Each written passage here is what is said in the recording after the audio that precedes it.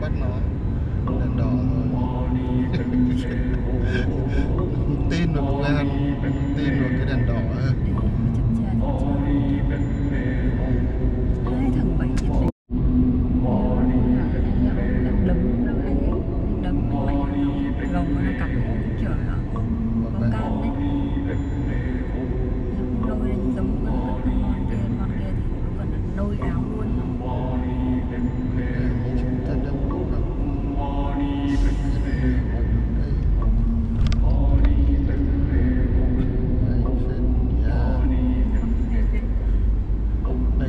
xuyên Việt trước mình có chui xuống uh,